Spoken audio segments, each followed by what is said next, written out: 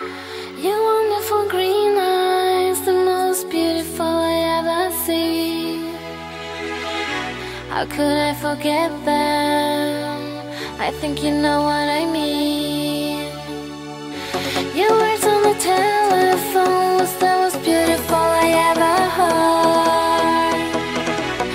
I can still hear them, remembering